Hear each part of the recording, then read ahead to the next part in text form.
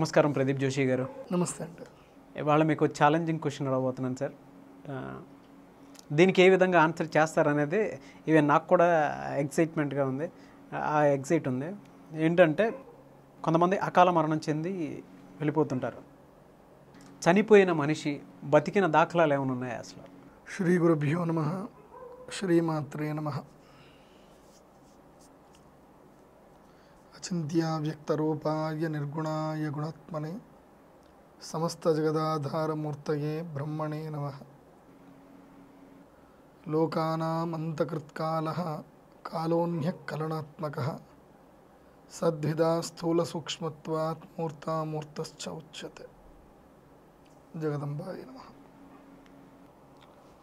మీకు ఇలాంటి ప్రశ్నలు ఎక్కడి నుంచి వస్తాయి నాకు తెలీదు మీరు ఉన్నారు కదా గురువు గారు ఇది మంచి లోకోపకారకమైన ప్రశ్ననే. ఇది తెలుసుకున్నటువంటి వాళ్ళకి అసలు నిజంగా మనిషి యొక్క మనస్సుకు ప్రేమకు అంత శక్తి ఉంటుందా అని తెలుస్తుంది. అంటే నాకు స్వానుభవంగా నా క్లయింట్ ఆయన నా గురువులాగానే. క్లయింటే కాకపోతే నాకు ఆయన గురువులాగా. దాదాపు ఇప్పుడు ఆయనకి అరవై రెండేళ్ళ వయసు ఉంటుంది. అరవై రెండు అరవై ఏడేళ్ళ వయసు ఉంటుంది. వారు నా దగ్గరికి జ్యోతిష్యం వేయడానికి వచ్చారు. ఆయన జీ నేను నా లైఫ్లో జీవితకాల జాతకం ఆరు దశలు అంటే దశ అంతర్దశలు అని ఉంటాయి కదా. ఆరు దశల వాళ్ళ జాతకాన్ని ఎప్పుడు చూడలేదు. ఆయన దాదాపు అరవై ఎనిమిదేళ్ళ వ్యక్తి ఆయన. ఆయన ఆరు దశలు చూశాను నేను. అంటే ఎప్పుడో యాభై ఎనిమిదిలో పుట్టారు ఆయన. అప్పటి నుంచి ఆయన జాతకం అంతా తీస్తూనే ఉన్నా తీస్తూనే ఉన్నా. ఎప్పుడెప్పుడు లైఫ్లో ఏమేమి ఇన్సిడెంట్ జరిగాయి ఏం కథ అని కరెక్ట్గా అన్నీ చెప్పాను. ఒక్క దగ్గర ఆయన అడిగాను ఏమండి మీకు అంటే వాళ్ళ శ్రీమతి గారి జాతకం చూసి మేడం గారి జాతకం ఒక దగ్గర మరణగండ యోగం ఉండినండి మేడం గారు ఉన్నారా? అని అడిగాను. ఆయన అన్నారు ఉన్నారండి అన్నారు. అయితే సారీ అండి లేదు లేదు మీరు సారీ చెప్పొద్దు జోషి గారు. మీరు కరెక్టే చెప్పారు. ఏంటండి అంటే అప్పుడు ఆయన జరిగిన వృత్తాంతం చెప్పారు ఆయన ఒక పెద్ద ఆఫీసర్ ఆయన విజయవాడలో.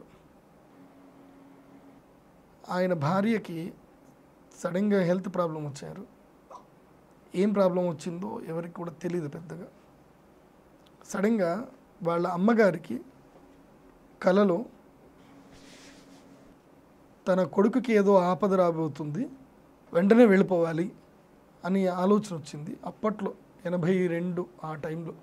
ఆ టైంలో ట్రైన్లు ఎర్ర బస్సులు తప్ప ఇంకా అటువైపు వెళ్ళిపోతే ఇంకా ద్రాక్షారామం అటువైపు వెళితే కనుక అక్కడ జట్కా బండిలే తప్ప అక్కడ మనకి ఏమి లేవు ఆ కాలంలో. అది కూడా ఇంకా ఎనభై రెండు కూడా కాదు ఇంకా మునుపు ఆ సమయంలో. ఆయనకి కొత్తగా పెళ్ళయింది. జాబ్లో అప్పుడే జాయిన్ అయ్యారు ఆయన. వారి అమ్మగారికి ఆ విషయం తెలిసింది. అప్పట్లో ఫోన్స్ లేవు ఏమీ లేవు. టెలిగ్రామ్స్ కూడా చేసేంత తీరిక లేదు. పల్లెటూర్ల వరకు టెలిగ్రామ్ అయితే వెళ్ళేది కాదు.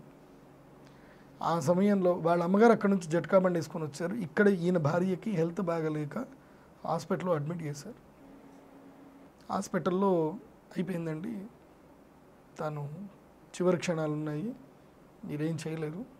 ఇంకా మాకేం ఇంకా మా వల్ల అయిపోయింది. The pray only can save her అని చెప్పేసి చెప్పారు అంటే భగవంతుని ప్రార్థన మాత్రమే ఆమెని ఆమె ఆమెను బతికిస్తుంది. ఇంకా ఏం చేయలేదు. ఆయన చేసేది లేక ఇంటికి వెళ్ళాడు ఆయన. నిన్నటిదాకా చాలా చక్కగా తిరుగుతున్నటువంటి వ్యక్తి రెండు రోజుల క్రితము సడన్గా బెడ్ మీద జీవోత్సవమే పడిపోయింది. వెంటిలేటర్ మీద పెట్టారు. ఇంకా బతుకుతుంది నమ్మకం లేదు అని చెప్పేసాను ఇంకా చేతులు ఎత్తేసారు డాక్టర్. ఆయనకి ఎంత బాధ అంటే ఇద్దరు పిల్లలు చిన్న పిల్లలు. ఏమవుతుంది ఇంకా ఈమె చనిపోయిందంటే నా పిల్లల్ని ఎట్లా? నా పరిస్థితి ఏంటి? చాలా దీనంగా ఇంటికి వెళ్ళాడు ఇంటికి వెళ్ళిపోయి కాళ్ళు చేతులు కడుక్కొని దేవుడి ముందు కూర్చొని ఆయన గురు చరిత్ర తీశాడు. గురు చరిత్ర తీసి గురు చరిత్రలో అప్పుడు ఆయన గుర్తుకొచ్చింది ఆయనకి. గురుచరిత్రలో ఒక వృత్తాంతం ఉంటుంది. గాణగాపూర్లో శ్రీపాద శ్రీవల్లభులు శ్రీ దత్తాత్రేయ స్వామివారి యొక్క అవతారమైనటువంటి శ్రీ నృసింహ భారతి స్వామివారి యొక్క వృత్తాంతం దాంట్లో వస్తుంది. గురుచరిత్ర. చాలా మహోత్కృష్టమైనటువంటి గ్రంథం అది. ఆ గ్రంథంలో ఒక కథ ఉంటుందన్నమాట. ఒక స్త్రీ తన భర్త చనిపోయిన తర్వాత భర్త చనిపోతాడు. చనిపోయిన తర్వాత అందరూ నీ భర్త చనిపోయాడు ఇక నువ్వు విధవ? అని చెప్పి అందరూ ఆమెని ఓదార్పు చేస్తుంటే ఆమె నా భర్త ఎక్కడ చనిపోయాడు? నా భర్త బతికి ఉన్నాడు బతికి ఉంచుకుంటాను నేను. నాకు నృసింహ భారతి స్వామి వారి మీద నమ్మకం ఉంది. ఆయన నా భర్తను బతికిస్తాడు. నా భర్తకి దీర్ఘాయుష్ ఉంది. అకాల మరణం పొందే అవకాశమే లేదు అని చెప్పి తాను ఒంటరిగా ఎవరు కూడా ఆమెకు సహాయం చేయలేదు. పిచ్చిదన్నారు అందరు కూడా.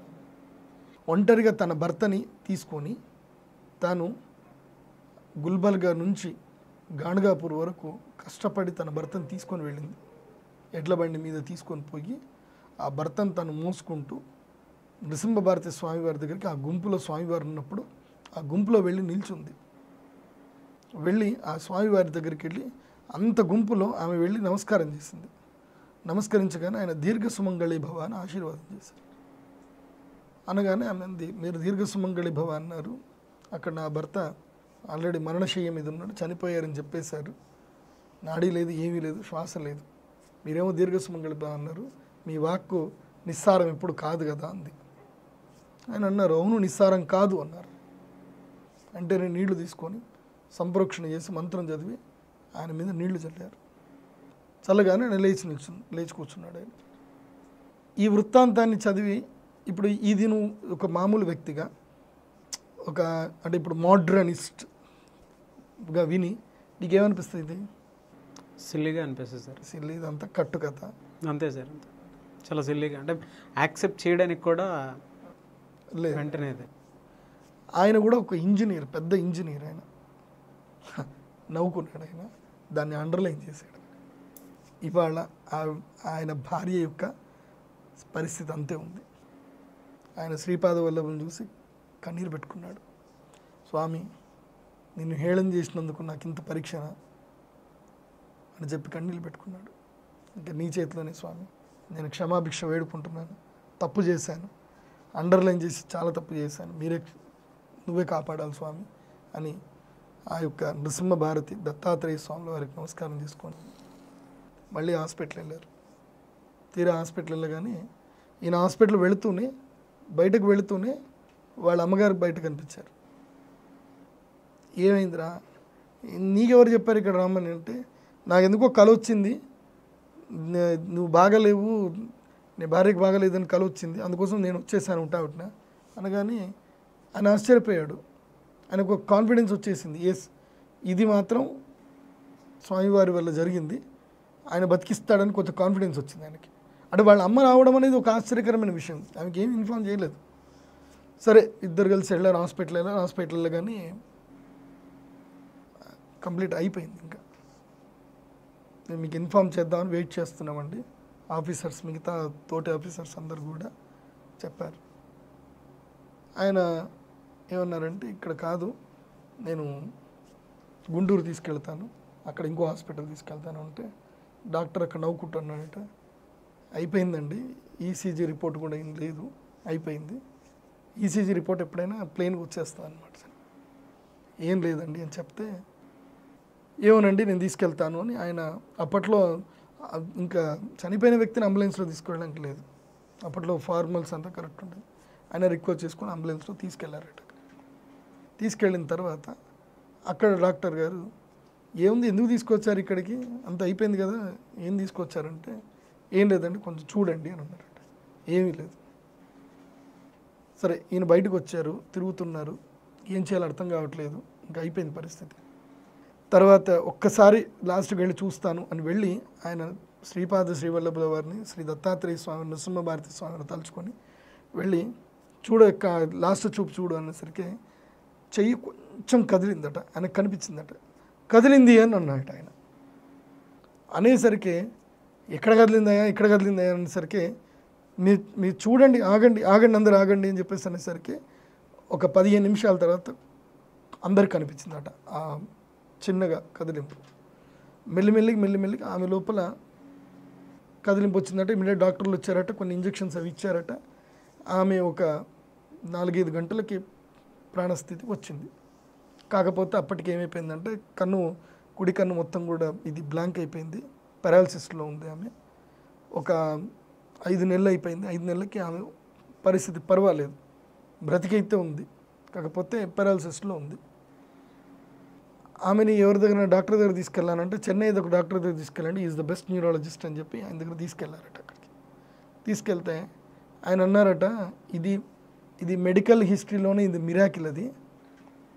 ఇక నేను ఏ మెడిసిన్స్ ఇవ్వను నువ్వు ఏ మెడిసిన్స్ వాడకు వాళ్ళు ఇచ్చిన మెడిసిన్స్ అన్ని వరస్ట్ మెడిసిన్స్ మీరు ఏ మెడిసిన్స్ వాడకండి మీరు ఏ దైవాన్ని అయితే నమ్ముకున్నారో ఆ దైవమే క్యూర్ చేస్తుందని ఆయన అన్నట్టు పెద్ద ఆయన చెన్నైలో. వీళ్ళు ఆయన మాట వినలేదట. మళ్ళీ అవే మెడిసిన్స్ కంటిన్యూ చేస్తే మళ్ళీ అదే పరిస్థితి వచ్చిందట. వచ్చి రాగానే ఇంకా ఏమనుకున్నారంటే ఇంక అట్లా కాదు ఇంకా. పెద్ద ఆయన చెప్పినట్టుగానే కంటిన్యూ అవుదాము అని చెప్పేసి అని కేవలము స్ఫటికలింగాన్ని అభిషేకం చేస్తూ ఆ నీళ్ళు తాగుతూనే ఆ యొక్క శ్రీపాద శ్రీవల్లభులను తలుచుకుంటూనే దత్తాత్రేయ స్వామిని తలుచుకుంటూనే వారు చేస్తూ ఉంటే ఆవిడ ఒక సంవత్సరానికి మొత్తం తేరుకొని హాయిగా నడవడం స్టార్ట్ అయింది. ఈ వృత్తాంతం చెప్పిన తర్వాత ఈ చెప్పిన వ్యక్తి ఒక్క ఎవరు కాదు. ఆయన చాలా పెద్ద ఆఫీసర్ ఆయన. చాలా గొప్ప వ్యక్తి. అటల్ బిహారీ వాజ్పేయి గారితో పనిచేసిన వ్యక్తి ఆయన. మన్మోహన్ సింగ్ గారితో కూడా పనిచేసిన వ్యక్తి. అంతటి గొప్ప వ్యక్తి చెప్పిన తర్వాత నేను కూడా అప్పటి వరకు కొంచెం నాకు విశ్వాసం అనేది కోల్పోయింది అంటే ఎక్కడో అంతర్గతంగా భగవంతుడు అనేవాడు ఉన్నాడు అని నేను చెప్పడం తప్ప ఇంటర్నల్గా ద ఫుల్ ఆస్పెక్ట్స్లో లేను నేను కూడా అప్పటి వరకు. ఇది విన్న తర్వాత నాకు పూర్తి నమ్మకం లేదు. బికాస్ నేను లైవ్గా మేడం గారిని చూశాను నేను. లైవ్గా చూశాను నేను. నాకు అప్పుడు అర్థమైంది yes the God power is there and ప్రేమకు ఒక అద్భుతమైన శక్తి ఉంది. ఆయన ప్రేమ భగవంతుని యొక్క శక్తి కాపాడింది. కానీ అందరి విషయంలో ఇది జరుగుతుందని చెప్పలేం. కానీ నాకు అర్థమైంది ఏంటంటే కనుక మా అన్నయ్య కొడుకు కూడా చనిపోయి బతికాడు. హరి వాడు నేను యమదూతని చూసాను కూడా చెప్పాడు. చిన్న చిన్న పిల్లాడు వాడు. తొమ్మిదేళ్ళ పిల్లవాడు. దాదాపు five hundred five thousand KV కొడితే భస్మమే. వాడు ఎగిరి పడి వాడికి కుడి చేయి తీసేశారు ఎడం చేయి తీసేశారు. కానీ వాడు బతికాడు. ఏమైందిరా? అంటే నన్ను యమదూతలు తీసుకెళ్ళారు నేను చూశాను. వాళ్ళకి చక్కగా కిరీటాలు పెట్టుకొని మంచిగా ఉన్నారు వాళ్ళు పద్ధతిగా. భగవంతుని యొక్క నామం పెట్టుకొని ఉన్నారు నేను చూశాను వాళ్ళని అని చెప్పాడు వాడు. వాడు బాలవాక్కు బ్రహ్మవాక్కు. బాలవాక్కు అయితే అబద్ధం కాదు కదా. మరణ మరణశయ్య పైన ఎక్కి బయట ఉంచినాడు అదేవిధంగా పద్మావతి గారు అని చెప్పి నిజామాబాద్లో మేము పద్దక్క పద్దక్క అని పిలుస్తాం. ఆవిడ కూడా చనిపోయింది. చనిపోయింది దాదాపు ఆరు గంటలు అందరూ చనిపోయింది అనుకున్నారు. అందరు చుట్టాలు అందరూ పిలిచారు. ఆమె లేచి కూర్చుంది. ఏ లేచి కూర్చుంది ఈమెను ఇంట్లో ఉంచొద్దు బయటకు పంపించారు మా నాన్నగారు తీసుకెళ్తే మా నాన్న ప్రశ్న వేసి ఏం చెప్పాడు అంటే రెండు రోజులు ఆగండి అప్పటిదాకా మీరు నా మాట వినొద్దు ఈమె మాట వినొద్దు రెండు రోజులు ఆగండి అని చెప్పేసి అన్నట్టు మా నాన్న. ఎందుకు ఆగమన్నారో తెలియదు ఆడ మిర్చి కంపౌండ్ అని ఉంటుంది అనమాట వాళ్ళు మిర్చి కంపౌండ్లో అప్ప అప్పట్లోనే అపార్ట్మెంట్ కట్టారు. లేబర్స్ అందరూ ఒక దగ్గర పడుకుంటారు అనమాట మా నాన్న చెప్పలే. మా నాన్న బూర్జ పత్రాలు రాసి పక్కన పెట్టుకున్నారనమాట ఏమైతే? ఎందుకోసం అంటే చెప్తే మళ్ళీ పెద్ద గొడవలు అవుతాయి కదా. చెప్పలే. రెండు రోజుల తర్వాత ఈమె రోజు ఎక్కడ పడుకుంటుందో అదే ప్లేస్లో ఇంకొక ఆమె వెళ్ళి పడుకుంది. ఆవిడ చనిపోయింది. రెండు రోజుల తర్వాత. యాక్చువల్లీ ఆవిడ ప్రాణం పోవాల్సింది నీ ప్రాణం పోయిందమ్మా. కాకపోతే యమదూతలు మళ్ళీ నేను రిటర్న్ పంపించేశారు. ఇప్పుడు ఏమో ప్రాణం పోయిందని చెప్పి. ఇది వాస్తవం. ఇది వాస్తవం. ఆమె ఇప్పటికీ బతుకుంది. బద్దక్క అని సో దైవము ఉంది యమదూతలు ఉన్నారు ఆయన యమధర్మరాజు ఉన్నాడు. ఇది ఎంత కూడా ఇల్యూషన్ కాదు. ఇది ఇల్యూషన్ కాదు అని చెప్పడానికి ఇవి వాస్తవ ఘటనలు నిజం. సత్యం షిరిడి సాయిబాబా గారు ఆయన మహోత్కృష్టమైనటువంటి యోగవేత్త ఆయన కూడా చనిపోయి బతికారు అని ఉంది. ఇలా ఇంకా ఎన్నో వృత్తాంతాలని నా వరకు తెలిసినవైతే ఆధారపూరితమైనవి ఇవి